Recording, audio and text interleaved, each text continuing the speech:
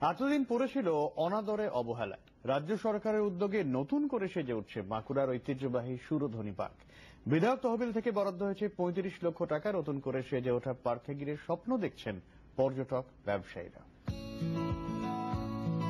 বাঁকুড়ার পর্যটন কেন্দ্রগুলির মধ্যে অন্যতম হল জয়পুর।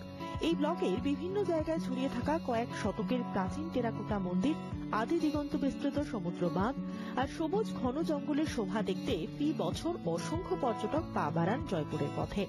বর্তমানে জয়পুর উইকেন্ড ডেস্টিনেশন হিসেবে কলকাতার মানুষের কাছেও বেশ জনপ্রিয়। কিন্তু জয়পুরের পর্যটন পরিকাঠামোর অভাব এতদিন মাঝে মধ্যেই নিরাশ করত পর্যটকদের। সম্প্রতি রাজ্য সরকারের উদ্যোগে সমুদ্রবাদ সংস্কার সহ পর্যটন পরিকাঠামো ঢেলে সাজানো হচ্ছে। বাঁকুড়া জেলার জয়পুর ব্লক যেখানে আমাদের জয়পুর যে জঙ্গল রয়েছে, সেই লাগোয়া আমাদের একটি সুরধ্বনি উদ্যান রয়েছে। যে উদ্যানের প্রায় পনেরো বিঘা এলাকা জুড়ে এই উদ্যানটি রয়েছে। এখানে আমরা আমার বিধায়ক উন্নয়ন তহবিল থেকে প্রায় পঁয়ত্রিশ লক্ষ টাকা দিয়ে বেশ কিছু কটেজ আমরা তৈরি করতে চলেছি এবং কিছু ট্রেন্ড হবে এবং সেখানে কিচেন থাকবে আলাদা করে ডাইনিং প্লেস থাকবে এবং একটা আধুনিকতম আহ, পর্যায়ে কটেজগুলো নির্মাণ হবে। সুরধ্বনিবাজ স্বাধীনতা সংগ্রামী এই মহিলার নামের সঙ্গে জড়িয়ে জয়পুরের মানুষের আবেগ।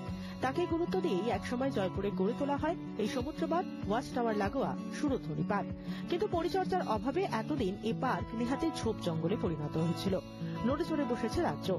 বিধায়ক তহবিল থেকে বরাদ্দ হয়েছে পঁয়ত্রিশ লক্ষ টাকা। অনাদরে অবহেলায় ঝোপে ঝাড়ে থাকা থাকা সমাজ বিরোধীদের আঁকড়া হয়ে ওঠা সুরধনী উদ্যান নতুনভাবে সেজে ওঠার খবরে খুশি স্থানীয় ব্যবসায়ী থেকে শুরু করে পর্যটকরা।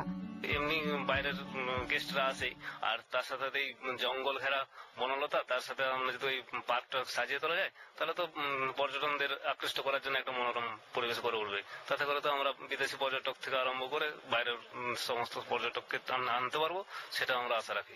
অবশ্যই এটা যেহেতু সরকারি ভাবে যদি সুরধ্বনিকে ঠিকঠাক ভাবে সাজিয়ে তোলা যায় জয়পুরটাকে আরও মানে অনেক প্রাকৃতিক সৌন্দর্য জায়গা বলে তৈরি করা হবে।